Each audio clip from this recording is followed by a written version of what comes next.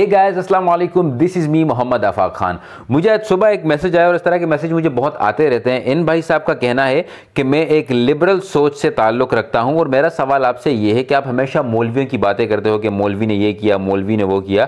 آپ مجھے ثبوت کے ساتھ بتائیں کہ مولویوں نے اسلام کے لیے آج تک کیا کیا ہے.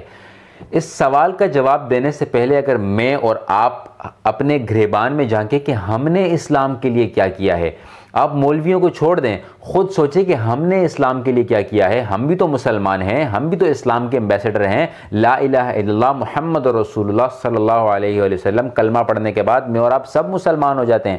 ہم اس دین اسلام کے امبیسڈر ہیں، ہم اس کے ریپرزنٹیٹیو ہیں، ہم دین اسلام کا چہرہ ہے آپ کسی کمپنی میں کام کرتے ہیں اور آپ اس کمپنی کا چہرہ ہوتے ہیں۔ آپ کسی قوم سے تعلق رکھتے ہیں، آپ اس قوم کے ریپرزنٹیٹیو ہوتے ہیں۔ اسی طریقے سے آپ جس مذہب سے تعلق رکھتے ہیں، آپ اس مذہب کے ریپرزنٹیٹیو ہیں۔ مولویوں مولویوں کو چھوڑ دیں، بھول جائیں مولویوں کو۔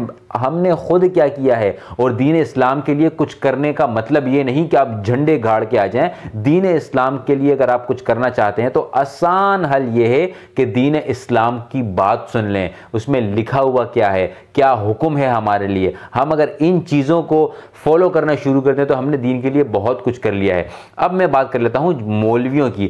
جب جب آپ مولوی کی بات کرتے ہو کہ مولوی نے دین اسلام کے لیے کیا کیا ہے اس سے اندازہ لگایا جا سکتا ہے کہ آپ میں ٹکے کی عقل نہیں ہے۔ سوری ٹو سے میں اس طرح کے الفاظ استعمال کر رہا ہوں، کیونکہ آپ ایک بندے کو مولوی کر رہے ہو، ایک بندے کو عالم دین کہہ رہے ہو اور ساتھ میں آپ یہ کہہ رہے ہو کہ اس نے دین اسلام کے لیے کیا کیا۔ آپ ایک بندے کے پیچھے نماز پڑھ رہے ہو، جس نماز کو پڑھنے سے اللہ تعالیٰ سے ہم کلام ہوتے ہو اور آپ کہتے ہو کہ اس بندے نے دین کے لیے کیا کیا۔ جو بندہ آپ کو قرآن پڑھنا سکھاتا ہے، آپ اس سے قرآن پڑھ کے یہ کہتے ہو کہ یار اس نے دین اسلام کے لیے کیا کیا۔ جو بندہ آپ کو مسائل بتاتا ہے، آپ اس سے مسئلہ پوچھ کے اپنی دل کو سکون دلا کر کہتے ہو کہ اس نے دین اسلام کے لیے کیا کیا۔ جو جو آپ کے جنازے حلال کرتا ہے، آپ کا نکاح کرواتا ہے، آپ کی آپ کی شادی ہو جاتی ہے، پھر آپ کہتے ہو کہ اس اس بندے نے دین اسلام کے لیے کیا کیا؟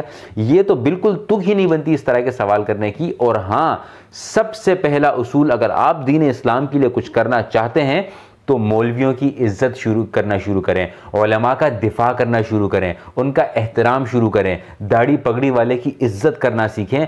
تب آپ اسلام کے لیے کچھ نہ کچھ کر پائیں گے۔ لیکن جب تک آپ کے دل میں بغض ہوگی، جب تک آپ دل سے ان لوگوں کی عزت نہیں کریں گے جو سنت پر چلتے ہیں، تو آپ بھول جائیں کہ آپ دین اسلام کے لیے کچھ کر سکتے ہیں۔ یاد رہے، میں اور آپ دین اسلام کے ٹھیکیدار نہیں ہیں۔ مولویوں نے اسلام کو بچانے کا ٹھیکہ نہیں لیا ہوا۔ اسلام یہ رہے گا اور آخری دم تک رہے گا۔ یہ دین اسلام کہیں نہیں جانے والا۔ لیکن کہنے کا مقصد صرف اور صرف یہ ہے کہ جب آپ دوسروں پر انگلیاں اٹھاتے ہیں، آپ اپنے آپ کے بارے میں ذرا سوچ لیں کہ دین اسلام صرف مولویوں کے لیے نہیں آیا، بلکہ ان، ہمیں تو ان کا شکریہ ادا کرنا چاہیے جو اپنی پوری جوانی مدارس میں دے کر پورے دین اسلام کو اپنے سینے میں محفوظ کر کے فی سبیل اللہ آگے بڑھاتے ہیں، ہمارے مسائل حل کرتے ہیں، ہم انہی کے اوپر سوال کرتے ہیں تو میرے خیال میں یہ بیوقوفی ہے اور اس کے علاوہ کچھ نہیں۔ اگر آپ میری ان باتوں سے اگری کرتے ہیں اور دین اسلام کے لیے کچھ کرنا چاہتے ہیں، تو صرف دین اسلام کے سٹیپس کو فالو شروع فالو کرنا شروع کر دیجیے۔ جو حکم ہمارے لیے آئے ہیں ان کو ماننا شروع کر دیجیے۔ میرے خیال میں یہی میرے اور آپ کے لیے کافی ہوگا۔ اگر آپ میری ان باتوں سے اگری کرتے ہیں اور آپ کو لگتا ہے کہ میں نے کوئی کام کی بات کی ہے، تو اس ویڈیو کو زیادہ سے زیادہ شیئر کیجیے گا۔ اور آئیے ہم سب مل کر دعا کریں کہ ہم علماء کرام کی، مولویوں کی، مفتیان حضرات کی، جو لوگ اسلام کے لیے کچھ نہ کچھ کر رہے ہیں، ان کی دل سے عزت کرنا سیکھیں۔ Thank you very much take care اللہ حافظ۔